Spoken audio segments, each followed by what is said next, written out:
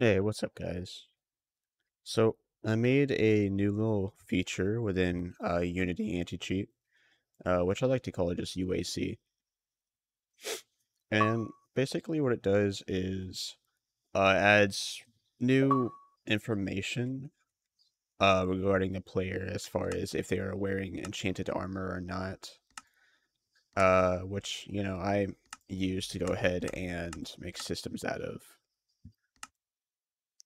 So there's a few things in here that, for whatever reason, just don't work on realms really well, but this enchanted armor feature uh, works pretty well on realms. So you have at least this to look forward to. So we'll wait for UAC to go ahead and run its init file. There you go. Now, this new feature also wouldn't be possible uh, without the help of this uh, this developer right here. So he made the uh, the framework that was possible for this. Uh, and I'm glad that he's also now on the uh, the project with me. So let's go ahead and staff ourselves up.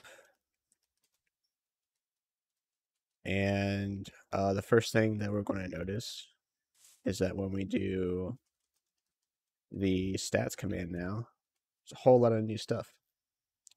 Uh, so so far as like you know, if uh, the tracker isn't enabled, then it will say it's disabled, that rather than get, not giving you a number at all. Um, it shows our coordinates, you know exactly where we are. So it's 706. You know that's where we are. If you can see, I'm not sure how long it's going to take for that message to go away. But uh, that's pretty cool.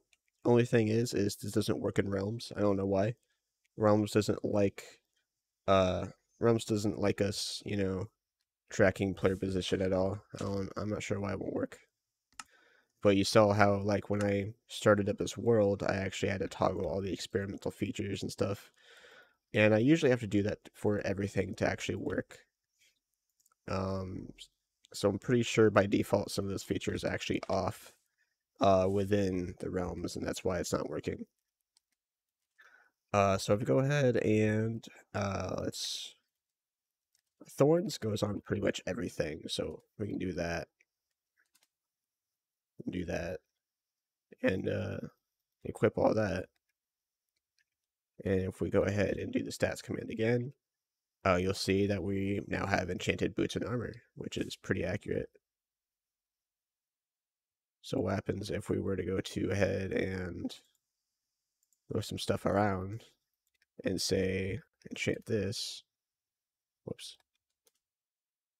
Let's go ahead and equip that and lo and behold, uh, we have boots and chest plate, and it's going to say boots and chest plate are the only things enchanted.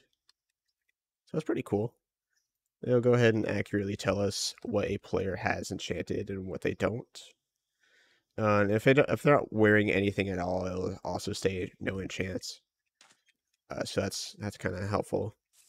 Now the greatest thing about this is if we go ahead and toggle this new module, uh, which will be uh, enchanted armor disable, toggle that on. And if we go ahead and to uh, try to equip any enchanted armor, it'll actually immediately remove it from us. The regular armor is fine. We won't do anything about that. But if we go ahead and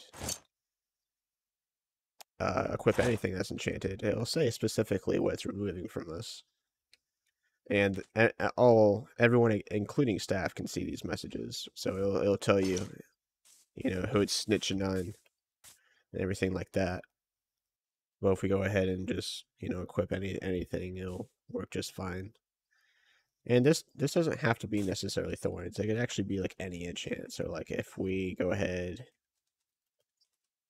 and just enchant it with anything, if it's enchanted, it's going to get rid of it. But the downside with this is that uh, it's not going to keep track of specific enchants. Uh, that's not really possible.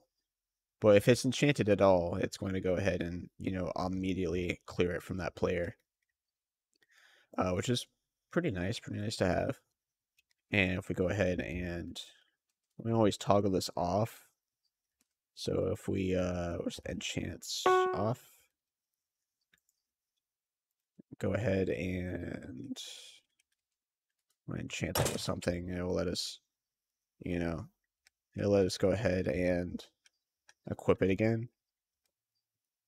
And our legs are enchanted. So it's a pretty neat little system that I made. Uh, thanks to uh, Unknown Catastrophe, who is the other developer that went ahead and joined the project with me. Uh, there's also other systems that I built, which was uh, this item ban thing. So if you now go ahead and it's like item ban check, you can see like which items are allowed and banned and stuff. That's all a new system within itself. I may show that off later when I actually update UAC to version 2.2. Uh, but if you want to go ahead and you know get this early, uh, since you know this enchant armor feature is actually within UAC version 2.2. Um, so if you want to go ahead and try to get that early, you can actually go ahead and go to the UAC Discord, uh, where you know you can give suggestions and report bugs and stuff. And you'll also be able to see the change log of the things I'm adding in the next version, as well as actually videos of how they work, like as as early as they come out, or even like while I'm developing them. Uh, so th- this Discord will be down in the description below for you guys to check out. And uh, if you want to go ahead and you know compile this add-on early uh, before version 2.2 is released, you can actually go to the GitHub channel and uh, you know visit any one of these these uh, these commits and just compile your own version from the GitHub since it's now open source.